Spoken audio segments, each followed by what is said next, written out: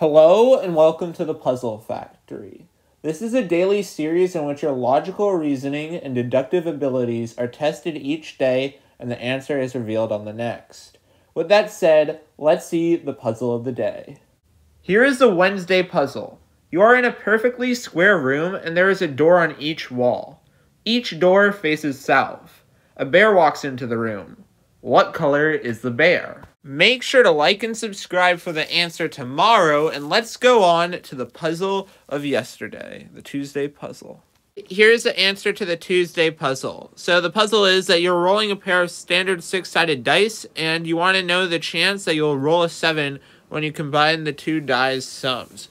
So what we can do is we can just make a list of every possibility, or we could use the factors that will actually uh, make us up to seven. So uh, there's going to be uh, 1 plus 6.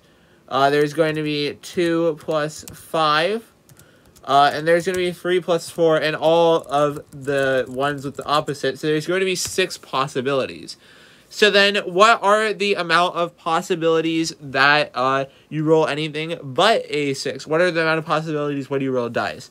Well, uh, since there's two dice and each one has a 1 in 6 probability of rolling a certain number, uh, 6 squared will be 36. So it's going to be a 6 out of 36 chance or a 1 in 6 chance, which is about equal to 16.67%.